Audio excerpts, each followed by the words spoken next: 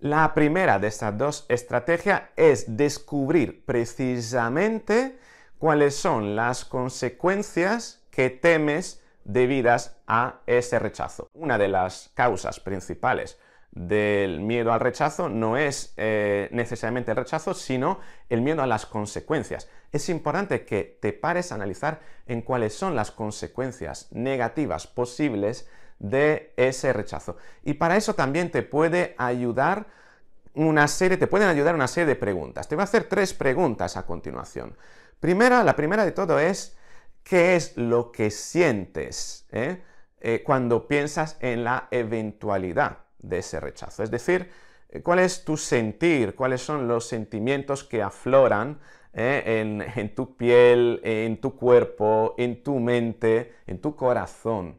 Eh, asociados a la eventualidad de experimentar ese rechazo. ¿Qué sientes?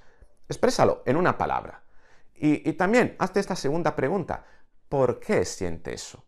Es decir, ¿qué es lo que provoca que tengas que tener esa sensación, ese sentimiento y no otro? También escríbelo, importante que lo escribas en un folio, no hace falta que lo pongas en, los comentarios, pero tenlo para ti en un folio. ¿eh?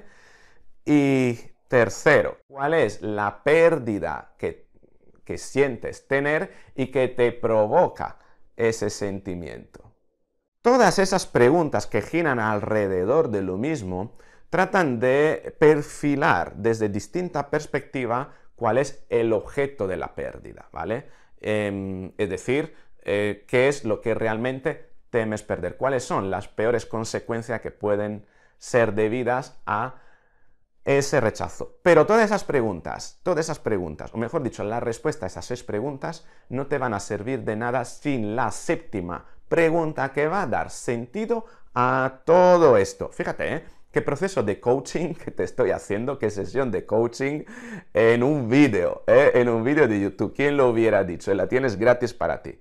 ¿Quieres saber cuál es esta séptima pregunta?